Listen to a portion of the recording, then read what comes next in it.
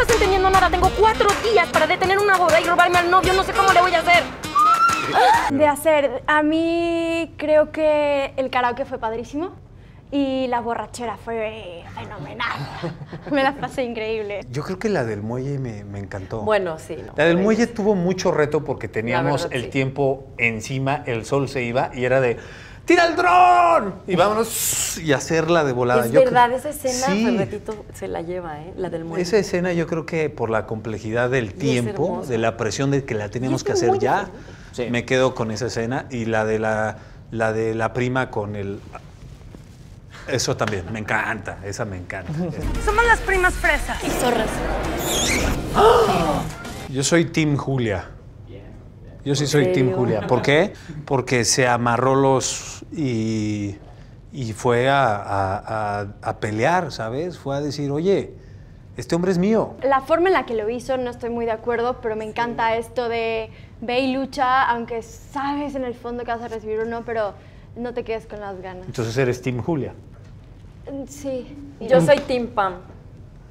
Ay, sí, amiguis, amiguis. De verdad. Te sigues viendo muy bien encuerada. Todo eso, firme. Bien. Anécdota de boda. ¿De la nuestra? De cualquiera. Una anécdota. Uy.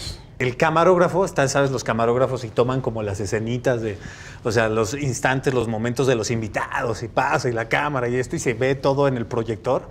Me tocó, bueno, dos, dos individuos.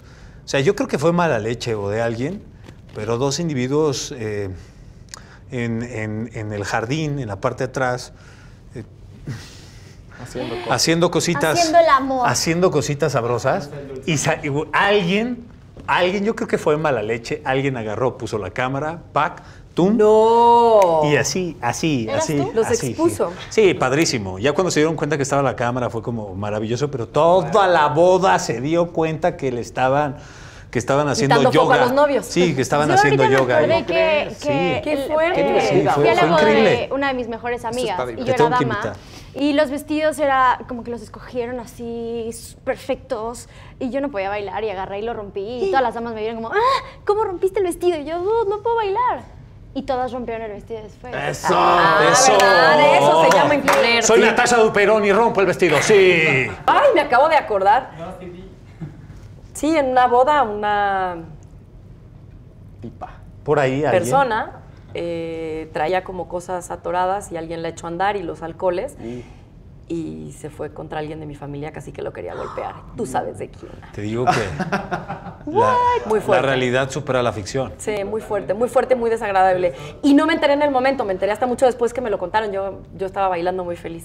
Una de nuestra boda, precisamente, de la boda de mejor amigo de rodaje, cuando estábamos filmando la escena en donde bailas al final con Miguel Ángel. Sí, eh, Miguel Ángel la subió y le rompió el vestido. apasionado. Y se el romp- ¿no? Y se, me rompió abrió. el vestido. no, se salió el tirante y me- se me quedó de Se te salió una. Mi chichito. Muy bien. Por fortuna teníamos otro vestido. Sí. Ay, no, por fortuna yo me pude tar. No, yo no te importa el vestido, ¿y yo qué? Mi exposición. Había ¿qué que terminar hizo? la secuencia. Exacto. Escógeme a mí.